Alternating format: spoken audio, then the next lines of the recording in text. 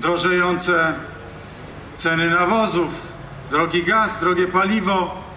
To wszystko przekłada się na trud pracy rolnika. I my rządzący nie chowamy głowy w piasek. Wiemy, jak jest ciężko. Wiemy, jak jest ciężko i przede wszystkim zależy nam na jednym.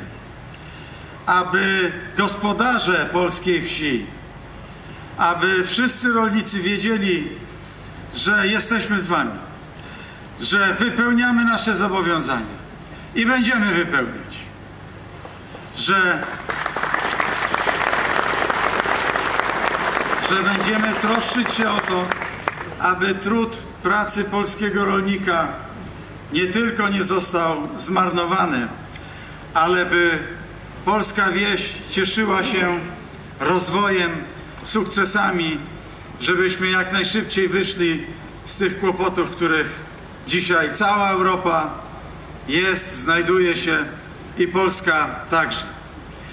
Ale przecież te nasze wspólne ustalenia biorą się także ze zobowiązań, które już do tej pory wy wykonaliśmy. I pokrótce o nich powiem. Zobowiązaliśmy się do zwiększenia szans rolniczego handlu detalicznego. Wykonane. Zobowiązaliśmy się do obniżenia cen nawozów poprzez redukcję VAT.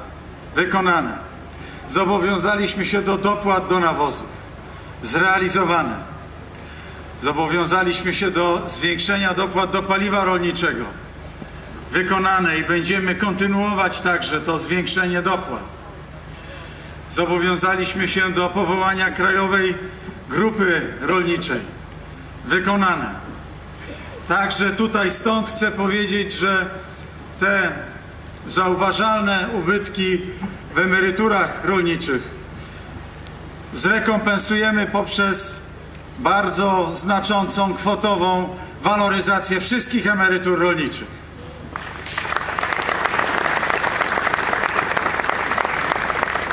Mógłbym tak ciągnąć dalej, bo wiele jest rzeczy, które obiecaliśmy i zrealizowaliśmy. Ale też, jak powiedział pan wojewoda, to nie tylko wieś, to nie tylko sprawy materialne, płody rolne, eksport, produkcja krajowa, bezpieczeństwo żywnościowe, to wszystko, z czego jesteśmy ogromnie dumni. Ale wieś także to polska kultura, polska tradycja, wiara, którą przechowujecie. I za to chciałbym ogromnie wszystkim mieszkańcom polskiej wsi podziękować z całego serca. Jesteśmy dumni z polskiej wsi. Jesteśmy wdzięczni polskiej wsi.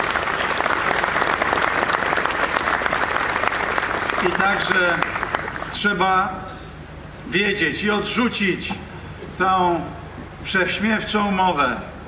Mowę tych, którzy uważają, że wieś to obciach, wstydzą się polskiej wsi, jak wielu liberałów, nie chcę nazywać tej partii po imieniu, ale wszyscy wiemy, kto jaką politykę wobec polskiej wsi prowadzi. Na czele z panem burmistrzem, gospodarzem tego miejsca, panem burmistrzem Jerzym Bauerem.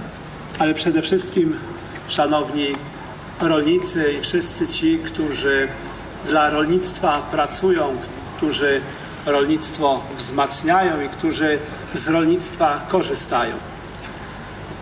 W czasie mszy świętej dziękowaliśmy Bogu za ten rok, za dobre plony, za łaskawą pogodę, za to, że mogliśmy spokojnie zebrać plony. Zebranie plonów w tym roku, bardzo trudnym roku, jest niezwykle ważne.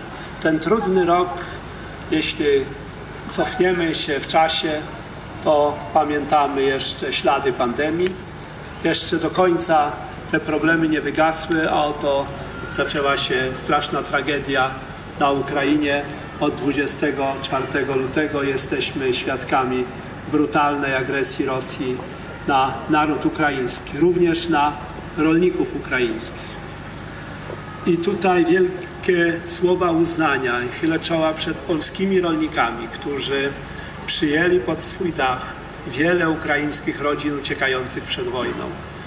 spotykam się czasami w gronie międzynarodowym z ministrami rolnictwa innych krajów i oni nie mogą wyjść z podziwu, że w Polsce mieszka no, ponad 2 miliony uchodźców wojennych i nie ma żadnych obozów dla uchodźców.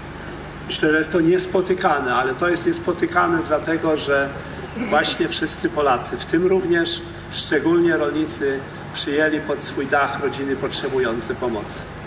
Ale ten rok też pokazuje, jak ważne jest bezpieczeństwo żywnościowe, o którym się czasami już zapominało. Europa produkująca ogromne ilości żywności, nawet już ta żywność była czasami zbytnio marnowana.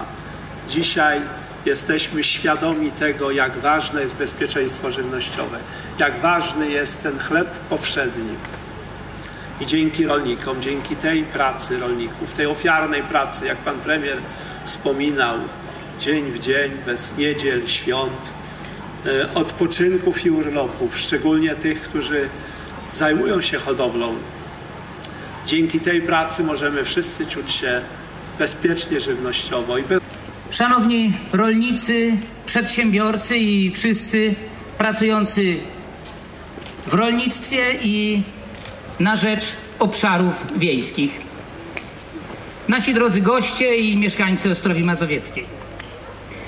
Wyrażam radość i podziękowanie za to, że ogólnopolskie święto wdzięczności polskiej wsi z udziałem najwyższych władz państwowych odbywa się w Ostrowi Mazowieckiej. To dla nas zaszczyt. Ziemia ostrowska była i jest terenem rolniczym z dużym udziałem hodowli, w tym hodowli bydła mlecznego. Przed chwilą byliśmy uczestnikami, świadkami uroczystego wręczenia odznaczeń, medali dla środowisk i osób zasłużonych, zasłużonych dla rolnictwa, zasłużonych dla rodziny, dla kultywowania tradycji. Bardzo serdecznie wszystkim gratuluję i wyrażam, wyrażam słowa uznania i wdzięczności za tę wielką aktywność, która buduje wspólnoty w różnych wymiarach. Szczególne podziękowanie również w imieniu moich współpracowników z samorządu Ostrowi Mazowieckiej kieruję do wszystkich osób, które przygotowały to dzisiejsze święto. Bardzo serdecznie wszystkim Państwu dziękuję za pełną życzliwości atmosferę współdziałania.